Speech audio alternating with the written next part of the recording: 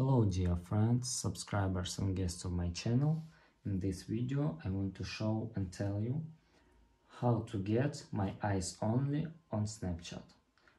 Please put your like, subscribe to my channel and share this video with your friends and let's get started.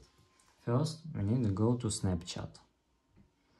After that we must click memories and here we must click my eyes only here.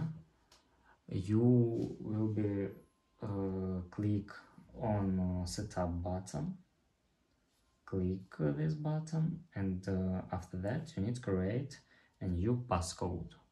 And that's all. You can turn on my eyes only feature on your iphone.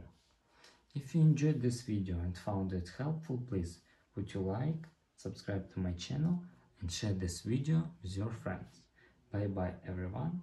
See you later.